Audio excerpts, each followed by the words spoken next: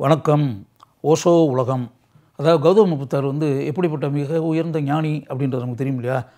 அவரை பற்றி ஓஷோ வந்து தான் எழுதிய நூலில் வந்து ஒரு மிக உயர்ந்த அருமையான ஒரு விஷயத்தை சொல்கிறார் அது எப்படி அப்படின்னா இப்போ கௌதம புத்தர் வந்து தான் மனதில் நினைக்கக்கூடிய மக்களுக்கு பயனுள்ள விஷயங்களை மக்களுக்கு சொல்லணும் அப்படின்ற மாதிரி மனசுக்குள்ளே நினச்சி அப்படியே பல இடங்களுக்கும் பயணம் செய்து அப்படியே மக்களை சந்தித்து மக்களுக்கு நீதி போதனைகளை கூறி மக்களுக்கு நல்ல வழிகளை காட்டி அப்படின்றதெல்லாம் தன்னுடைய வாழ்க்கை காலத்தில் கௌதம புத்தர் பண்ணியிருக்கார் இல்லையா?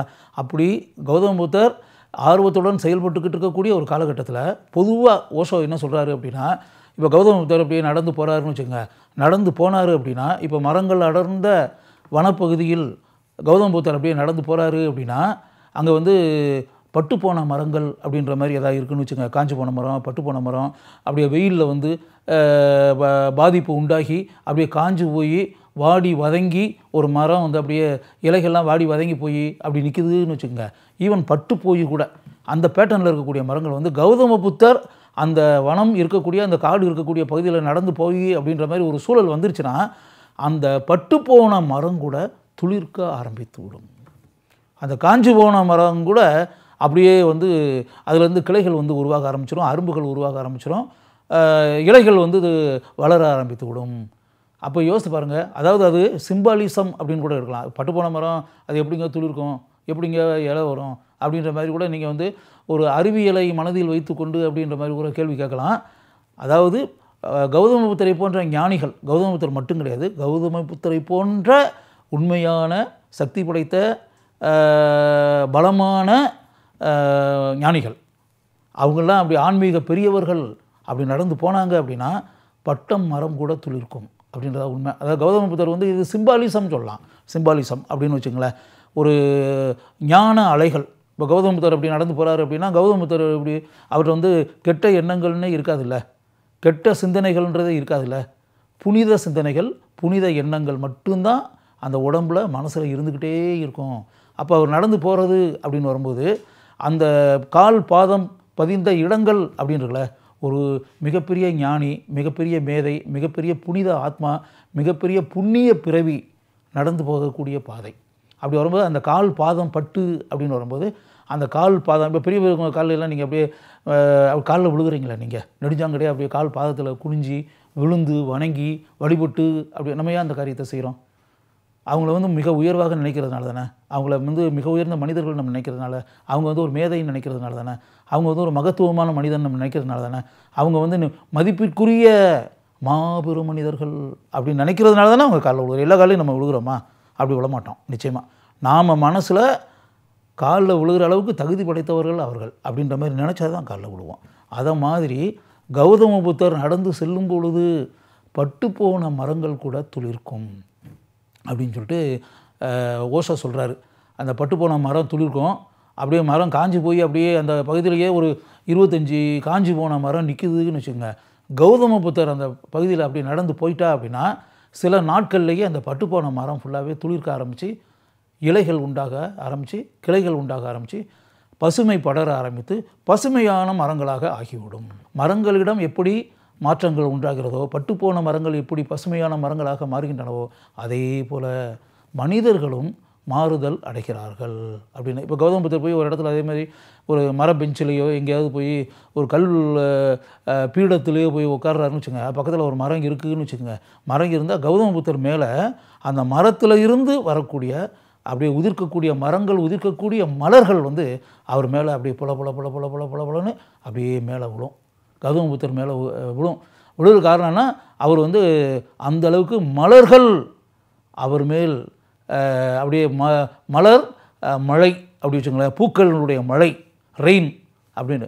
அது மேலே அப்படியே மேலே அந்த அளவுக்கு ஏன்னா அவர் வந்து ஒரு புனிதத்தின் சின்னம் இல்லையா? புனித புனித ஆத்மா புண்ணிய ஆத்மா. அவர் மேலே வந்து மலர்கள் வந்து அப்படியே அவர் மேலே வந்து அப்படியே சொரியும். மலர்கள் அப்படியே விழுந்துக்கிட்டே இருக்கும். மரத்துலேருந்து ம இது. காரணம் அந்த அளவிற்கு மலர்கள் அவர் மேல் விழக்கூடிய அளவிற்கு உயர்ந்த தகுதி படைத்தவர் கௌதம புத்தர். அது மாதிரி தான். வாழ்க்கையில் வந்து எப்படின்னா கௌதம புத்தர்ன்றது ஒரு எடுத்துக்காட்டு. கௌதம புத்தர்ன்றது ஒரு சிம்பாலிசம். கௌதம புத்தர்ன்றது ஒரு பொதுவாகவே எப்படின்னா வாழ்க்கையிலேயே இப்போ நம்ம இருக்கோம்னு வச்சுங்களேன்.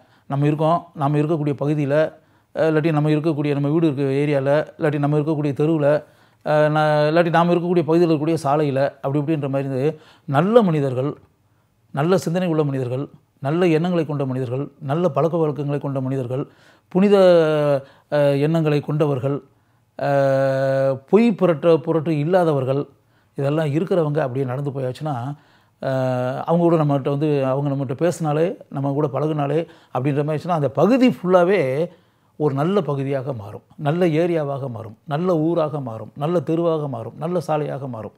அங்கே இருக்கக்கூடிய மனிதர்கள் எல்லாமே அவருடைய காற்று மேலே பட்டு அப்படின்றல நல்ல மனிதர்களாக ஆ- ஆவார்கள். அது அதே நேரத்தில் வந்து ஒரு கெட்ட மனிதன் அயோக்கியன் ஒரு முள்ளமரித்தனம் பண்ணக்கூடியவன் பொய் பித்தலாட்டங்கள் நிறைந்தவன் எந்த குறுக்கு வழியில் நுழைந்து பணத்தை சம்பாதிக்கலாம் மற்றவர்களை ஏமாற்றலாம் சூறையாடலாம் கொள்ளையடிக்கலாம் திருடலாம் அப்படின்னு நினைக்கக்கூடிய ஒரு ஆள் நம்ம ஏரியாலேயே குடியிருக்கிறான் இல்லாட்டி நடந்து போகிறான் நம்ம கூட பழகுறான் பேசுகிறான் அப்படின்னா அவனுடைய உடம்புலேருந்து மனதிலிருந்து வரக்கூடிய அந்த கெட்ட காற்று அப்படின்றதுல அது அந்த பகுதி ஃபுல்லாகவே பரவும்.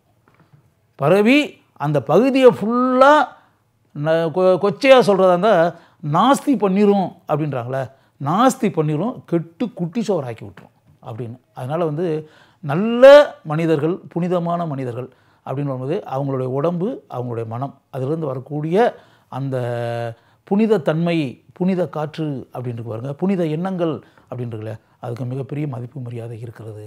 அதனால் ஓஷோ வந்து சும்மா ஒரு பேச்சுக்காக உங்களுக்கு புரியணும் அப்படின்றக்காக கௌதம் புத்தரை வந்து ஒரு எடுத்துக்காட்டாக வச்சு இந்த விஷயத்தை சொல்லியிருக்காரு.